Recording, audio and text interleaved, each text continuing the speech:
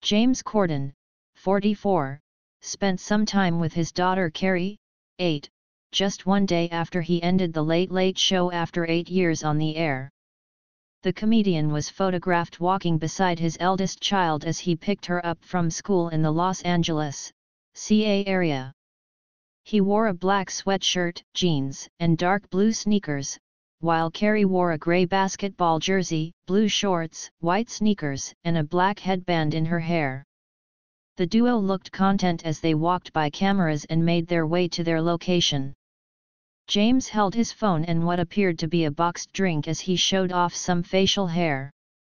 It didn't look like any other family members were with them in the moment.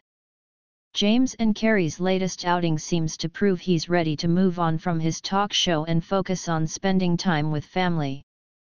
The beloved funny man said goodbye to his successful show with some big guests, like his friend Harry Styles and fellow comedian Will Ferrell. He also hosted one more segment of Carpool Karaoke with fellow Brit Adele.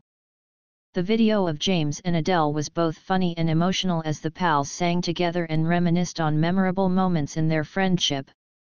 One particularly touching moment was when Adele admitted to writing her song, I Drink Wine after she and James had a six-hour conversation about life. He told her he was floored by how she captured how I was feeling about myself and life and just put it in a verse, about the song, and said it was the greatest privilege.